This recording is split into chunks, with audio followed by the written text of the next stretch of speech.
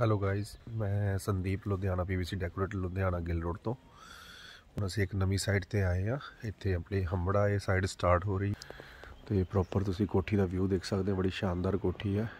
ਵੀਰ ਨੇ ਬਹੁਤ ਹੀ ਵਧੀਆ ਜਗ੍ਹਾ ਤੇ ਤੇ ਬਣਾਈ ਹੋਈ ਹੈ।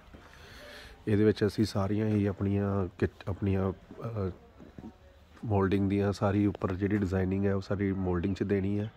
ਇੱਥੇ ਸਾਰੇ ਹੀ ਲੂਵਰਸ ਵਗੈਰਾ ਲੱਗਣੇ ਨੇ। ਠੀਕ ਹੈ ਵਿੰਡੋ, ਖਿੜਕੀਆਂ ਜਿੰਨੀਆਂ ਵੀ ਹੈਗੀਆਂ, ਦਰਵਾਜ਼ੇ ਉਹ ਸਭ WPC ਬੋਰਡ ਦੇ ਵਿੱਚ ਕੰਮ ਕੀਤਾ ਜਾਏਗਾ।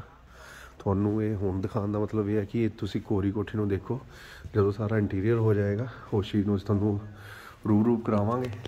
ਆ ਦੇਖੋ, ਇਹ ਸਾਰੀ ਚੈਨਲਿੰਗ ਹੋ ਗਈ ਹੈ, ਇੱਥੇ ਸੀਲਿੰਗਸ ਆ, ਸਾਡੀ ਜਿਪਸਨ ਦੀ ਸੀਲਿੰਗਸ ਹੋ ਰਹੀ ਹੈ ਸਾਰੀ ਕੋਠੀ ਦੇ ਵਿੱਚ। ਮਾਡਲ ਕਿਚਨ ਦਾ ਡਿਜ਼ਾਈਨ ਬਣੇਗਾ। ਮਾਡਲ ਕਿਚਨ ਵੀ ਅਸੀਂ ਵੀ ਤਿਆਰ ਕਰ ਰਹੇ ਹਾਂ। ਮਾਡਲ ਕਿਚਨ ਬਹੁਤ ਵਧੀਆ ਤਿਆਰ ਕੀਤੀ ਜਾਂਦੀ ਹੈ ਲੁਧਿਆਣਾ ਪੀਵੀਸੀ ਡੈਕੋਰੇਟਰ ਤੇ।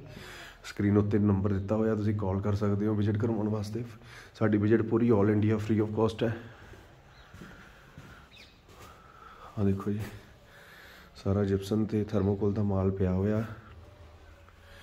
ਪ੍ਰੋਪਰ ਸਾਰੀ ਹੀ ਸੀਲਿੰਗ ਦੇ ਡਿਜ਼ਾਈਨਸ ਵਗੈਰਾ ਸਾਰੇ ਤੁਹਾਨੂੰ ਪਾਰਟ 2 ਦੇ ਵਿੱਚ ਸ਼ੋਅ ਕਰਾਏ ਜਾਣਗੇ। ਸਾਡਾ ਕੰਮ ਕੀਤਾ ਹੋਇਆ, ਸਾਡੇ ਨਜ਼ਰੀਆ ਮਾਰ ਕੇ ਸਾਨੂੰ ਦੱਸਿਓ ਵੀ ਸਾਡੇ ਕੰਮ ਦੇ ਵਿੱਚ ਕੋਈ ਕਮੀ ਪੇਸ਼ੀ ਤਾਂ ਨਹੀਂ ਹੈ। ਤੁਹਾਨੂੰ ਕਿਵੇਂ ਲੱਗਿਆ ਸਾਡਾ ਕੰਮ? ਥੈਂਕਸ